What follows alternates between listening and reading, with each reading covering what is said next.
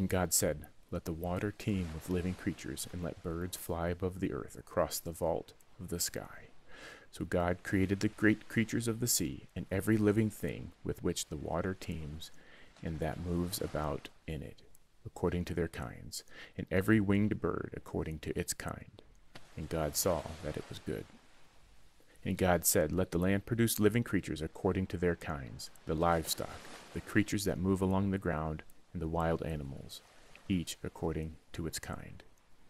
And it was so.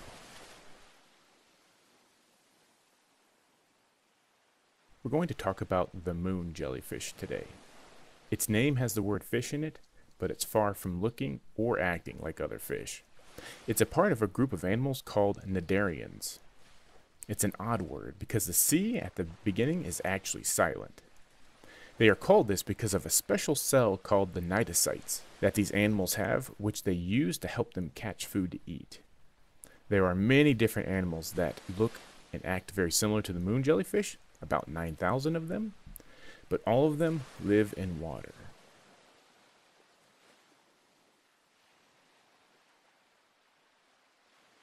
This species of jellyfish is found in every ocean around the world. It wants to be in ocean water that is close to land with mild water temperatures. So when you're swimming in the ocean, odds are you are also swimming with this jellyfish. It also means that it doesn't like to be found in very cold waters. So that means the Arctic and the Antarctica, it's not likely to be there. Good thing too, because they would probably just turn into jellysickles. I ran into this jellyfish while snorkeling in the Atlantic Ocean off of the Florida Keys.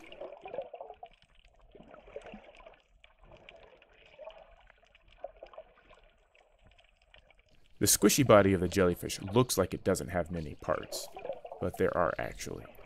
The main part of the jellyfish is called the bell. This is where all of the key organs are, but there are some key things that these animals do not have. They don't have bones. They don't have brains, and they have no heart.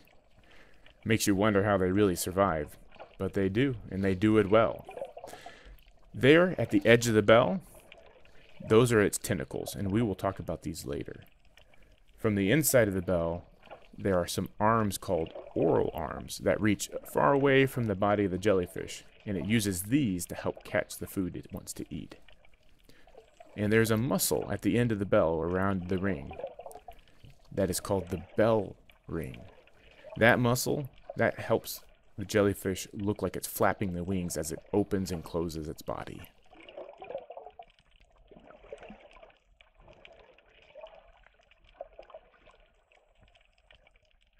The tentacles of the jellyfish are where the danger is.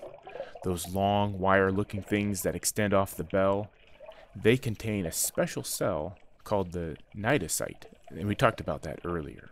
When these special cells come into contact with something, they explode and release a toxin, which is kind of like a poison.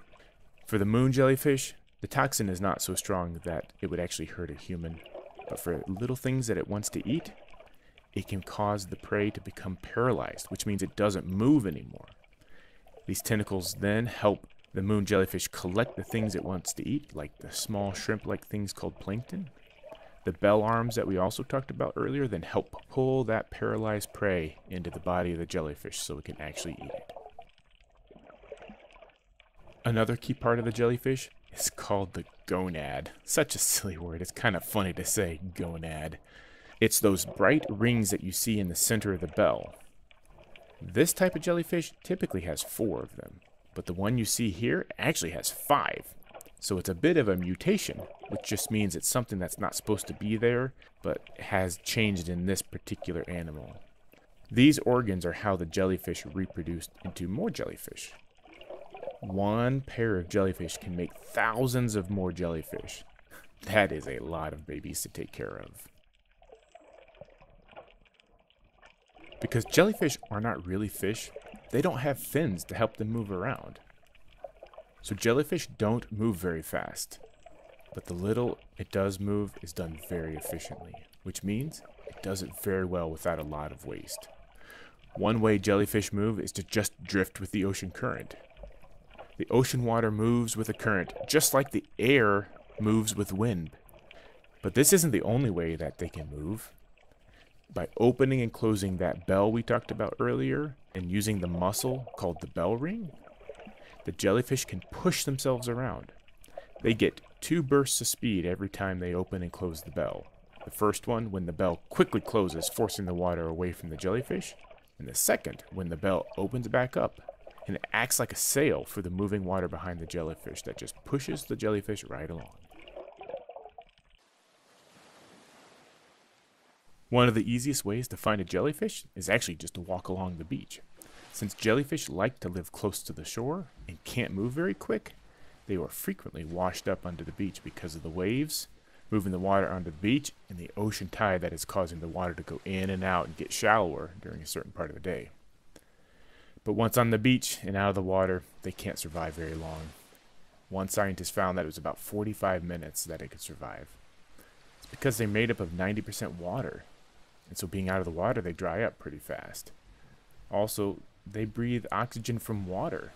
They can't get it from the air like we do. So they just don't survive very long when they're washed up on the beach. Jellyfish are a pretty neat creature that can do some cool things with their dome-shaped body and their exploding tentacles. So the next time you see a jellyfish washed up on the beach, you can now know a little bit more about it.